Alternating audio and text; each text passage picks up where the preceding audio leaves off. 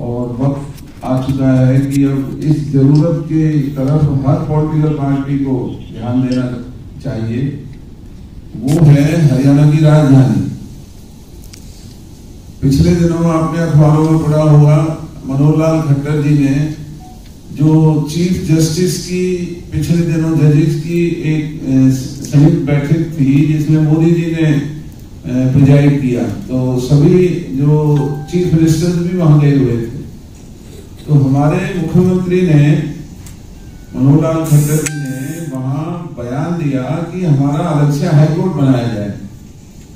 तो ये बहुत ही बेहूदगी की बात है कि प्रदेश का जो दो दफ़ा मुख्यमंत्री बना है, उन्हें शायद इस बात का पता नहीं है कि अगर अपनी राजधानी होगी तो हमारा हाई कोर्ट भी अपना अलग हो सकता है। हमारा पीडीआई अपना अलग हो सकता है। हमारी यूनिवर्सिटीज हमारी अपनी होंगी। हमारी कल्चरल एक्टिविटीज़ जो बिल्कुल हरियाणा में ना के बराबर है उनको रिवाइव किया जा सकता है।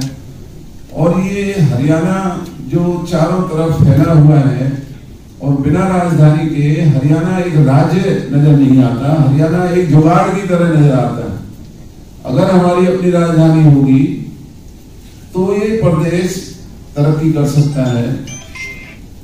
जब हिमाचल प्रदेश, जो कि हमारे मुकाबले पर बहुत छोटा प्रदेश है, और हमारे साथ ही वो पंजाब से अलग हुआ, उनकी तो राजधानी हो सकती है। उत्तराखंड जो अभी नया नया जो स्टेट बनाया है, वो दो राजधानी बनाने लगे हुए हैं।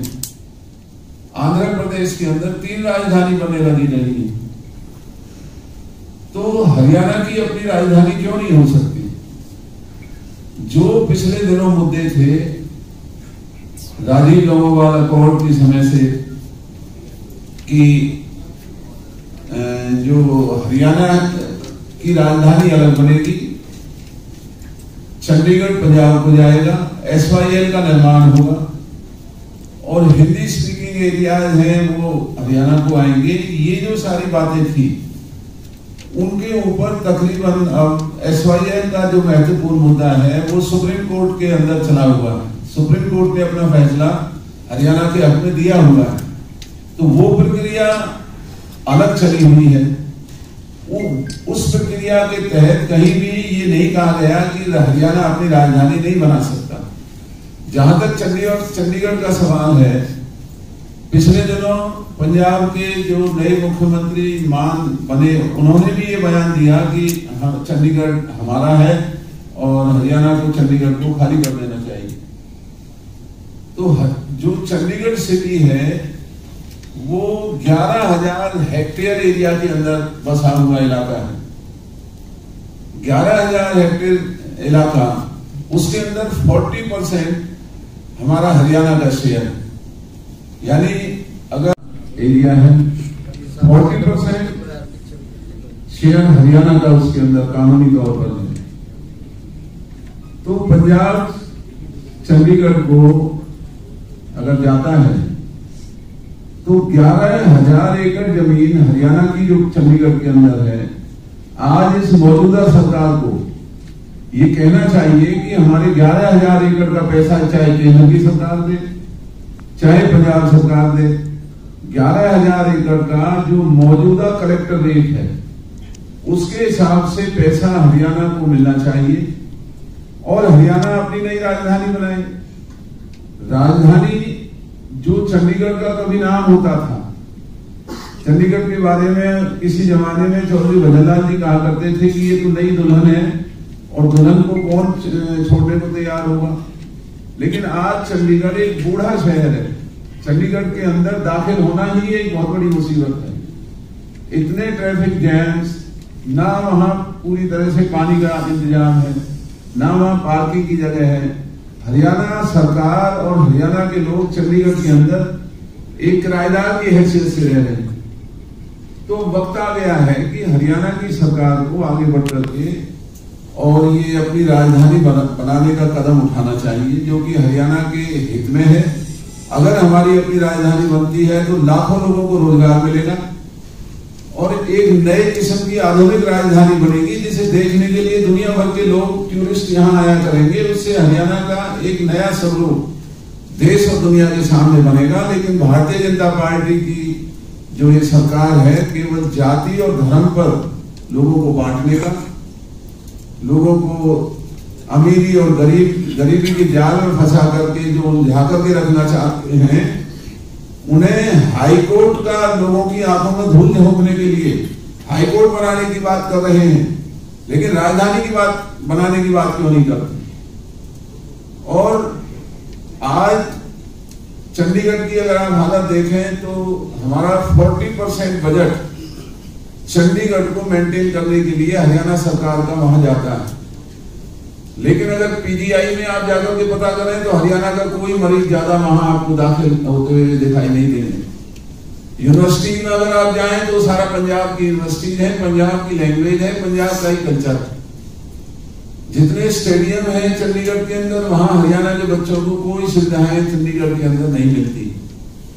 तो राजधानी का ना होना ऐसा लगता है जैसे बिना माँ बाप के बच्चे होते हैं। तो वक्त आ गया है कि हरियाणा की राजधानी बनाने के लिए हरियाणा सरकार को जितने भी हमारे पॉलिटिकल लोग हैं, उन सबको आगे बढ़ करके इस मुद्दे के ऊपर, दलगत राजनीति से ऊपर उठ करके काम करना चाहिए। और अगर राजधानी बनेगी तो हरियाणा की तरक्की को पूरे देश के अंदर कोई रोक नहीं पाएगा। हम इस देश के अंदर सबसे नंबर एक का प्रदेश बन सकते हैं। लेकिन हमें ये जो राजनीतिक आधार पर और हम अपनी राजधानी से जो नहीं कोई फैसला ले पा रहे हैं, ये बहुत ही दुर्भाग्य की बात है। तो इसलिए आप लोगों को ये तकलीफ़ दी है कि आप लोग भी इस तकलीफ़ को समझते हुए और राजधानी जहाँ तक बनाने का सवाल है कि राजधानी कहाँ बने तो ये फैसला हरियाणा की विधानसभा कर सकती है, हरियाणा के लोग कर सकते हैं। हमारा कोई ये विशेष मुद्दा नहीं कि राजधानी कहाँ बनेगी।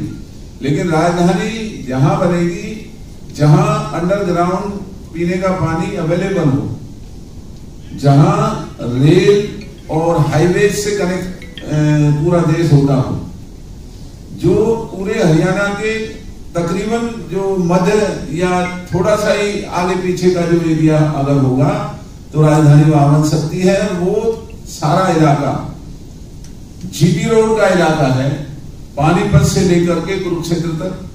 या आप आगे पीछे भी इसको करके, जहाँ अंडरग्राउंड पानी भी बहुत है, जो रेलवे से भी कनेक्ट है, जो ऐतिहासिक धरोहर है, इस हरियाणा ही नहीं, देश की पानीपत भी, कुरुक्षेत्र भी, करनाल भी, तीनों ऐतिहासिक धरोहर है। और भी जो आस पड़ोस के जो इलाके हैं, जो और शहर हैं वहाँ भी अगर अंडरग्राउंड पानी है और ज़मीन की जो उपलब्धता है, उसको देखते हुए सरकार देश की आज़ादी के आज इतने सालों के बाद भी अगर हम अपनी राजधानी नहीं बना सकते तो हमें सरकारें चलाने का क्या हक है? हम क्या है हरियाणा के लोगों को भला कर सकते हैं? तो अगर आप लोग याद करें तो जब इस हरियाणा में लालों की राजनीति हुआ करती थी तो उस वक्त तकरीबन फैसला हो गया था कि हरियाणा की राजधानी कुरुक्षेत्र के अंदर बना दी जाए।